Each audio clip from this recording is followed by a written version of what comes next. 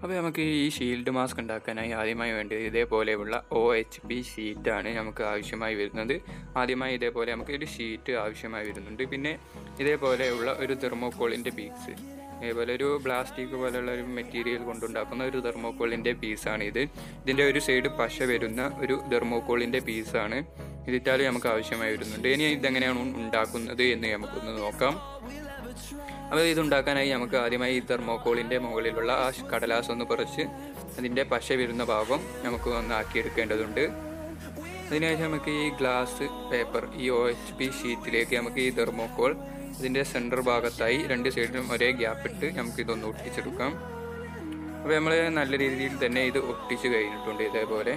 നല്ല രീതിയിൽ തന്നെ നമ്മൾ ഇത് ഒട്ടിച്ച് എടുത്തിട്ടുണ്ട്. ഇനി നമുക്ക് അടുത്തതായി വേണ്ടത് ഇതേപോലുള്ള ഒരു അലാസ്റ്റിക് ആണ്. ഇതേപോലെ നല്ല രീതിയിൽ വലിയുന്ന നല്ല ഉറപ്പുള്ള ഒരു അലാസ്റ്റിക് നമ്മൾ ഇവിടെ എടുത്തിട്ടുണ്ട്. ഇനി നമുക്ക് ഇത് നമ്മൾ ഉണ്ടാക്കിയ ആ ഷീൽഡിലേക്ക് ഒന്ന് ഒട്ടിച്ചു. പിന്നെ സ്റ്റാപ്ലെയർ അടിച്ചു കൊടുക്കാം. ആ ഒ എച്ച് പി ഷീറ്റിന്റെ ആ ബാക്കി വരുന്ന ആ ഭാഗത്ത് തെർമോക്കോൾ ഒഴിവാക്കിയിട്ട ആ ഭാഗത്ത് നമുക്ക് ഈ ഇതേപോലെ നമുക്ക് സ്റ്റാപ്ലെയർ വെച്ച് ഒന്ന് അടിച്ചു കൊടുക്കാം.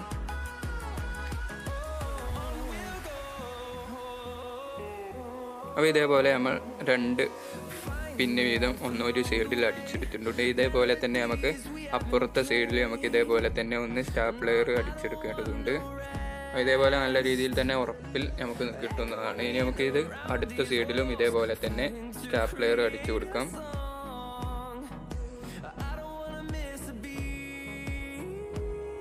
അപ്പോൾ നമ്മൾ രണ്ട് സൈഡിലും സ്റ്റാപ്ലെയർ അടിച്ച് വേണ്ടിയിട്ടുണ്ട് ഇതേപോലെയാണ് അപ്പോൾ നമുക്ക് ലഭിച്ചിട്ടുള്ളത്.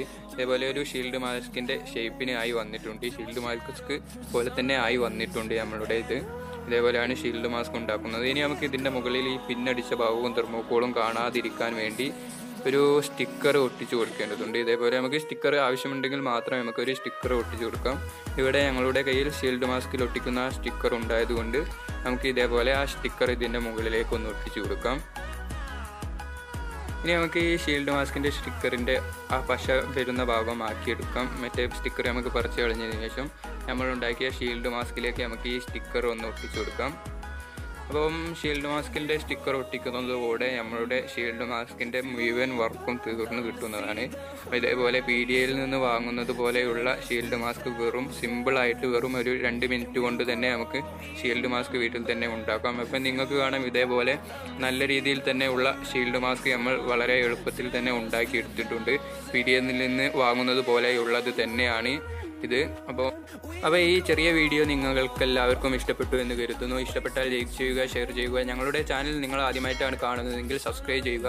അപ്പം ഈ വീഡിയോ മാക്സിമം ഷെയർ ചെയ്ത് എല്ലാവരിലേക്കും എത്തിക്കാൻ ശ്രമിക്കുക. അപ്പം ഇതിനും നല്ലൊരു വീഡിയോ എത്തുന്നത് വരേക്കും this is Abul signing out.